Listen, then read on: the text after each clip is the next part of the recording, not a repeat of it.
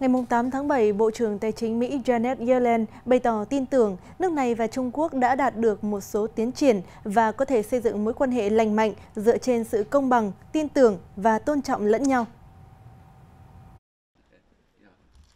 Phát biểu với báo giới khi kết thúc chuyến công du tới Bắc Kinh, Bộ trưởng Tài chính Mỹ Janet Yellen đã mô tả các cuộc gặp giữa bà với giới chức cấp cao Trung Quốc trong khuôn khổ chuyến thăm là thực chất, thẳng thắn và hiệu quả, nhằm giúp ổn định mối quan hệ song phương.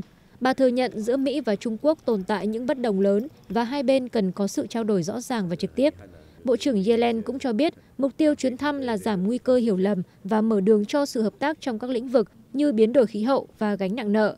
Bà tái khẳng định Washington không tìm cách tách rời khỏi nền kinh tế Trung Quốc. Điều này sẽ gây bất ổn cho cả hai nước và thế giới. Giới chức Bộ Quốc phòng Ukraine thừa nhận chính quyền ở Kiev đã thực hiện cuộc tấn công vào cầu Crimea hồi mùa thu năm 2022 nhằm phá hủy khả năng hậu cần của Nga. Theo lời Thứ trưởng Quốc phòng Ukraine Hanna Malia, đã 273 ngày kể từ khi Ukraine tấn công vào cầu Crimea để làm gián đoạn hoạt động hậu cần của người Nga. Chiếc xe tải chở bom nổ tung trên cây cầu dài 19 km nối giữa bán đảo Crimea với vùng Krasnodar trên đất liền của Nga vào ngày 8 tháng 10 năm 2022, khiến ba người thiệt mạng và một phần của đoạn cầu bị sập xuống biển. Khi đó Kiev từ chối nhận trách nhiệm, trong khi các quan chức Ukraine tỏ ra vui mừng trước thông tin về vụ tấn công trong các bài đăng trên Twitter. Ngay sau thông báo từ giới chức Ukraine, Bộ Ngoại giao Nga cáo buộc hành động này là của một chế độ khủng bố, gây thiệt hại có hệ thống cho nhà máy điện hạt nhân Zaporozhye. Sau các cuộc biểu tình bạo loạn kéo dài một tuần vừa chấm dứt tại Pháp, chính phủ nước này công bố lệnh cấm bán, sở hữu và vận chuyển pháo hoa trong dịp nghỉ lễ Quốc khánh 14 tháng 7. Việc bán, sở hữu, vận chuyển và sử dụng các loại pháo hoa cũng như các vật phẩm chứa chất nổ hoặc hỗn hợp chất nổ như trong pháo hoa bị cấm trên cả nước Pháp cho đến hết ngày 15 tháng 7. Lệnh cấm không áp dụng đối với các chuyên gia và chính quyền thành phố được cấp phép tổ chức lễ pháo hoa truyền thống nhân dịp quốc khánh. Thủ tướng Pháp Elizabeth Bon bày tỏ lo ngại về khả năng bạo loạn bùng phát trở lại tại nước này. Bà cho biết chính phủ sẽ triển khai nhiều biện pháp để bảo đảm trật tự nhân dịp lễ lớn của đất nước. Bất chấp lệnh cấm biểu tình, trong ngày 9 tháng 7, hàng nghìn người Pháp vẫn xuống đường tham gia tuần hành. Thưa quý vị, trong bối cảnh mạng xã hội Twitter cho thấy sự đi xuống về chất lượng kể từ khi tỷ phú Elon Musk mua lại, Meta đã ra mắt một ứng dụng mang tên Threads với cách sử dụng tương tự. Ứng dụng kết nối với Instagram này ngay lập tức thu hút 70 triệu người dùng chỉ trong vòng 2 ngày. Nguy cơ đánh mất thị phần rõ rệt tới mức khiến cho đội ngũ pháp lý của Twitter phải đánh tiếng kiện Meta vì đánh cắp bí mật thương mại. Trong một bức thư gửi giám đốc điều hành Meta, ông Mark Zuckerberg, luật sư của ông chủ Twitter Elon Musk cáo buộc Meta đánh cắp bí mật thương mại và sở hữu trí tuệ của Twitter. Bức thư này cũng chỉ trích Meta thuê mướn hàng chục cựu nhân viên của Twitter và tiếp tục tiếp cận những bí mật thương mại và những thông tin tối mật khác của mạng xã hội này. Tỷ phú Elon Musk cũng đăng lên trang Twitter cá nhân thông điệp nên chơi đẹp chứ không nên chơi xấu.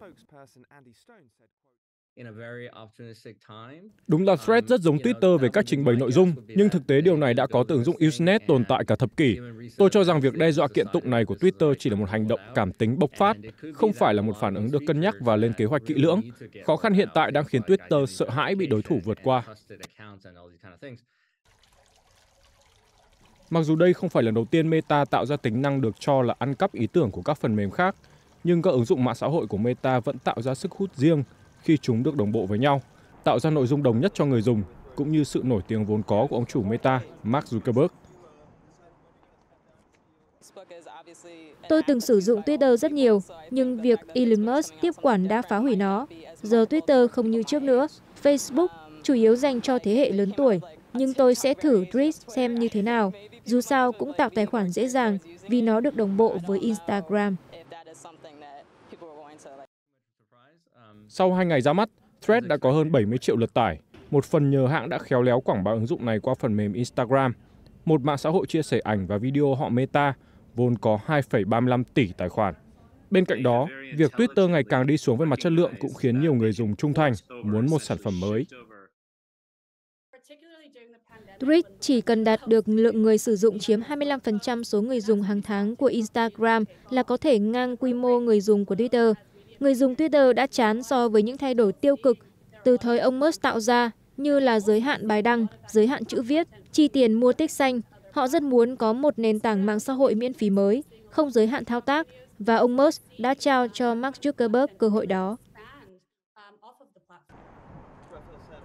Dưới sự điều hành của tỷ phú Musk, Twitter đã vấp phải một số khó khăn trong việc giữ chân người dùng và các hãng quảng cáo lớn do chính sách kiểm duyệt nội dung cùng với một số quyết định khác liên quan đến nhân sự và cắt giảm chi phí.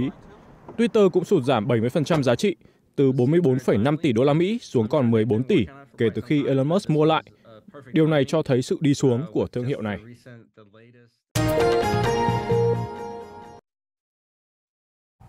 Một người thiệt mạng, 5 người bị thương và 7 người mất tích sau khi xảy ra lở đất tại một tuyến đường quốc lộ đang xây dựng ở tỉnh Hồ Bắc, Trung Quốc. Theo giới chức địa phương, vụ lở đất xảy ra vào chiều 8 tháng 7. Lực lượng chức năng đã xác định được vị trí của một nạn nhân được thông báo mất tích trước đó. Tất cả những người mất tích đều là công nhân xây dựng hơn 390 người đang tham gia công tác tìm kiếm, cứu hộ. Bộ Quản lý Tình trạng Khẩn cấp Trung Quốc đã kích hoạt ứng phó khẩn cấp mức 4 đối với thảm họa địa chất, đồng thời cử đội công tác tới hiện trường để hướng dẫn xử lý khẩn cấp. Bộ cam kết sẽ nỗ lực xác định nguyên nhân, tăng cường giám sát rủi ro và bảo đảm an toàn tính mạng, tài sản của người dân. Cứ vào đầu tháng 7 hàng năm, hàng nghìn người lại đổ về thành phố Pamplona, phía bắc Tây Ban Nha để tham dự lễ hội San Fermin, lễ hội chạy đua cùng những chú bò tót. Lễ hội có nguồn gốc từ thế kỷ 13 để tôn vinh vị thánh Fermin của thành phố Navaran. Sự kiện này trở nên nổi tiếng sau khi được nhà văn Hemingway đề cập trong cuốn tiểu thuyết Mặt trời cũng mọc, sáng tác vào năm 1926. Một buổi sáng trong tuần đầu tiên của tháng 7 hàng năm, 6 chú bò tót sẽ được thả ra để chạy tự do trên con đường dài sỏi của Pamplona. Hàng trăm người mặc bộ đồ màu trắng phải chạy thật nhanh, tránh cặp sừng đáng sợ của chúng. Đa phần người Tây Ban Nha coi đây là sự kiện văn hóa độc đáo, thu hút đông đảo người xem chỉ sau bộ môn bóng đá. Thưa quý vị, tối qua theo giờ địa phương, Tổng thống Mỹ Joe Biden đã tới thủ đô London của Anh, bắt đầu chuyến công du ba nước châu Âu gồm Anh, Litva và Phần Lan. Theo lịch trình từ Nhà Trắng, trong hôm nay tại Anh, Tổng thống Mỹ Joe Biden dự kiến có cuộc gặp với Thủ tướng Anh Rishi Sunak và thảo luận về vấn đề biến đổi khí hậu với vua Charles đệ Tam. Chuyến thăm Anh lần này của Tổng thống Biden sẽ thúc đẩy và tăng cường mối quan hệ bền chặt giữa hai nước Anh và Mỹ. Sau đó, ông Biden sẽ đến thủ đô Vilnius của Litva tham dự hội nghị cấp cao NATO trong hai ngày 11 và 12 tháng 7. Đây được xem là hoạt động chính của Tổng thống Mỹ trong chuyến công du châu Âu lần này. Chặng dừng chân cuối cùng trong chuyến công du của Tổng thống Joe Biden là thủ đô Helsinki của Phần Lan, nơi ông dự kiến hội đàm với lãnh đạo quốc gia Bắc Âu này trong ngày 13 tháng 7. Ông Biden là Tổng thống Mỹ đầu tiên đến Helsinki trong 5 năm vừa qua. Theo dự kiến, hội nghị thượng đỉnh khối hiệp ước Bắc Đại Tây Dương NATO sẽ diễn ra trong 2 ngày từ ngày 11 đến ngày 12 tháng 7 tại Litva. NATO đã triển khai các vũ khí tiên tiến cùng lực lượng hùng hậu để có thể đảm bảo an ninh cho sự kiện này. Để đảm bảo an ninh cho các nhà lãnh đạo tham dự hội nghị thượng đỉnh NATO. Đến nay, 16 quốc gia thành viên NATO đã gửi tổng cộng khoảng 1.000 binh sĩ đến Litva. Nhiều nước đã cung cấp các hệ thống phòng không tiên tiến mà các quốc gia vùng Baltic còn thiếu. Litva đã tăng gấp 3 lần lực lượng bảo vệ tại biên giới với Nga và Belarus trong mùa hè này. Tại sân bay Vilnius, 8 bệ phóng tên lửa Patriot do Đức điều hành cũng được triển khai. Trong hai ngày 11 đến 12 tháng 7 tới, các nhà lãnh đạo của NATO sẽ nhóm họp tại thủ đô Vilnius của Litva để giải quyết một loạt vấn đề, từ chia rẽ về tư cách thành viên của Ukraine đến vướng mắc trong kết nạp Thụy Điển và các kế hoạch phòng thủ đầu tiên trong nhiều thập niên. Cơ quan phòng chống tội phạm quốc gia Anh cùng lực lượng phòng vệ dân sự Tây Ban Nha thông báo đã thu giữ lượng lớn súng cầm tay trong một chiến dịch kéo dài 5 năm. Mục tiêu của chiến dịch này là ngăn chặn các loại súng mô hình có thể dễ dàng chuyển đổi thành vũ khí, sát thương, xâm nhập vào nước Anh.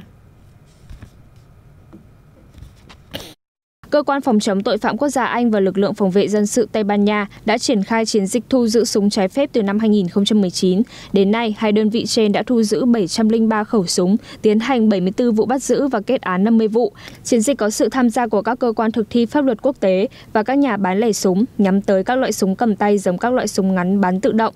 Các loại vũ khí này được buôn bán hợp pháp ở một số khu vực lục địa châu Âu. Tuy nhiên, việc sở hữu hoặc nhập khẩu vào Anh là bất hợp pháp.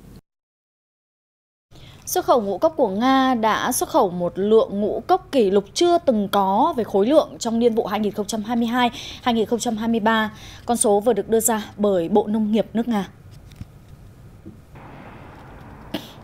Theo Bộ Nông nghiệp Nga, nước này đã cung cấp cho thị trường toàn cầu 60 triệu tấn ngũ cốc trong năm nông nghiệp từ tháng 7 năm ngoái đến tháng 6 năm nay, bất chấp các lệnh trừng phạt của phương Tây. Điều này giúp tăng đáng kể doanh thu xuất khẩu của Nga, khiến nước này thu về hơn 41 tỷ đô la Mỹ vào cuối năm ngoái.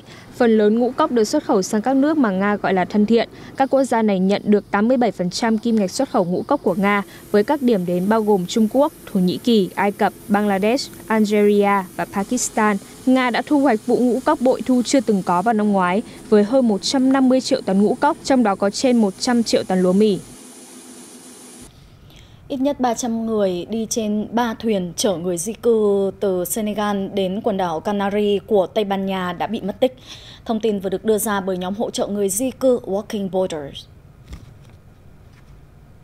Theo đại diện nhóm hỗ trợ người di cư Walking Borders, hai chiếc thuyền, trong đó có một chiếc chở khoảng 65 người và chiếc còn lại chở từ 50 đến 60 người, đã mất tích 15 ngày kể từ khi rời Senegal nhằm tìm cách tới được Tây Ban Nha. Chiếc thuyền thứ ba chở khoảng 200 người rời Senegal từ ngày 27 tháng 6. Cả ba chiếc thuyền đều xuất phát từ Cafutin, phía nam Senegal. Gia đình của những người mất tích không nhận được thông tin từ họ kể từ lúc những người di cư này rời Senegal.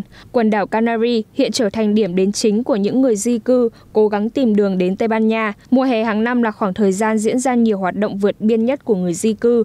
Theo Tổ chức Di cư Quốc tế, có ít nhất 559 người đã thiệt mạng trong những nỗ lực đi tới quần đảo Canary vào năm ngoái.